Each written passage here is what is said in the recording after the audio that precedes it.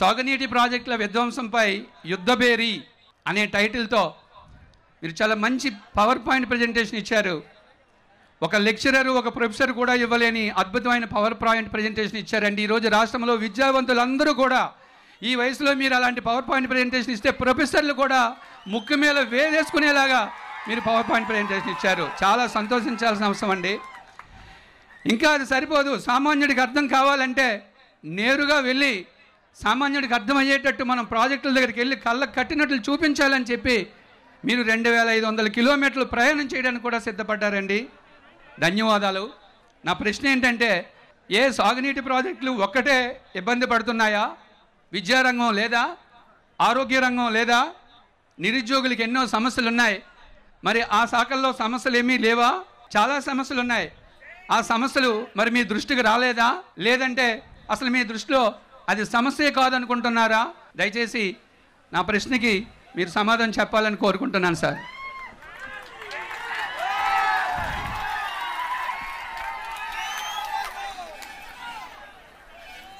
ఈరోజు గౌరవ చిరంజీవులు గారు మన గ్రాడ్యుయేట్స్ కాన్స్టిట్యున్సీ ఎమ్మెల్సీ మొన్న మీరంతా బ్రహ్మాండమైన మెజార్టీతో గెలిపించి ఆయనకు పట్టం కట్టారు. దానికి మిమ్మల్ని అభినందిస్తున్నా. ఉత్తరాంధ్రలో ఒక మేధావి ఈ ఉత్తరాంధ్ర అభివృద్ధి ఆయన కళ. అలాంటి వ్యక్తి ఈరోజు ఒక స్పష్టమైన క్వశ్చన్ నన్ను అడిగారు. వారు అడిగింది మీరు సాగునీటి ప్రాజెక్టుల నిర్లక్ష్యంపై యుద్ధ బేరీ ప్రకటించారు. ఇప్పటికి పది రోజులు తిరుగుతున్నారు. మళ్ళీ మూడు రోజులు అంతమును ప్రజెంటేషన్ చేశారు. ఇంత చేసినప్పుడు ఇంకేమి సమస్యలు లేవా అని వారు అడిగారు. ఈ ప్రభుత్వం వచ్చిన తర్వాత సమస్యలు లేని సమస్య లేదు. ప్రతి ఒక్క వ్యక్తికి సమస్యలు ఉన్నాయి. అవునా కాదా అని మిమ్మల్ని అడుగుతున్నా. ప్రతి ఒక్క గ్రామానికి సమస్యలు ఉన్నాయి.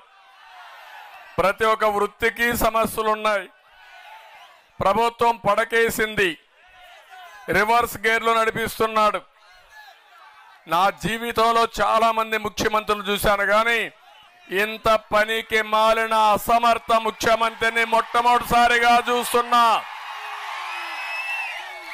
నేను ఇప్పుడు వస్తామంటే ఆ రోడ్డు చూసా గుంతలే గుంతలు గోతులే గోతులు. నిన్న మొన్న నేను ఒక రోడ్డుకి వెళ్ళాను పురుషోత్తపట్నంలో. ఆ రోడ్డుకు పోతే నరకం ఎట్లుంటుందో తెలియదు కానీ ఆ ఆరు గంటలు నరకమే చూశాను నేను. మొత్తం దుమ్ము కిందన గుంతలు తప్పించుకోలేం. ప్రజల మీద అభిమానం. కడాన ఎంత మన్ను తిన్నానో నాకే తెలియదు దారంతా ఈ మట్టే. నేనేమంటున్నాడు అదే కాదు. ఏ హాస్పిటల్ పనిచేయడంలా? పనిచేస్తా ఉంది ఏమన్నా హాస్పిటల్ ఏ స్కూలు పనిచేయడంలా? మొన్నే కట్టే అన్నాడు నాడు నేడు అన్నాడు.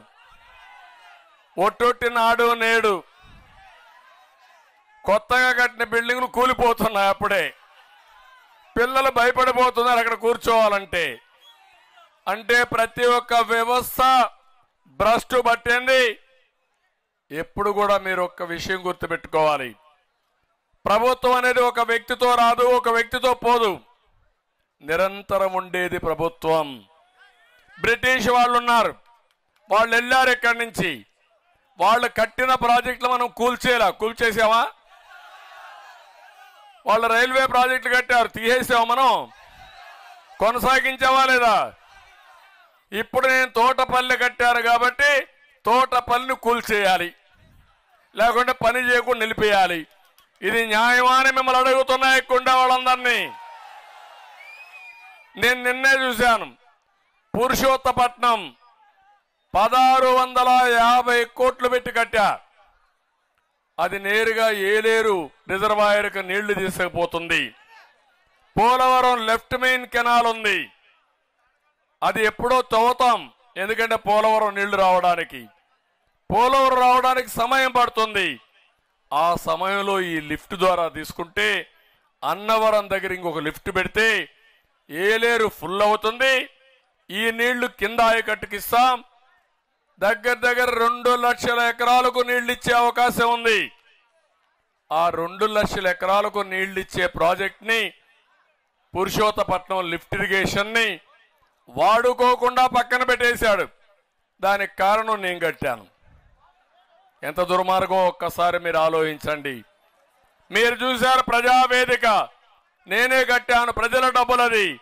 నన్ను కూల్చేశాడు ఇలాంటివి చాలా తప్పుడు పనులు చేశాడు. కానీ ఈరోజు ఇక్కడ నేను చూశాను తోట పనిలో.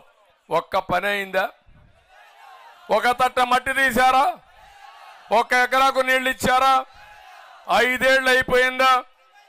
ఏమనాలి వెళ్ళి బాధ లేదా? నాకు బాధ ఉంది ఆవేదన ఉంది. మీ ఇబ్బందులు చూస్తున్నా. చిరంజీవులు గారు చాలా సమస్యలు ఉన్నాయి అన్నింటికంటే ముఖ్యం నీరు. సాగునీరు తాగునీరు చాలా ముఖ్యం. నేను ఒక ఎగ్జాంపుల్గా తీసుకున్నాను. కడాన పోలీసు వ్యవస్థ కూడా రివర్స్లో పోతా ఉంది ఇప్పుడు.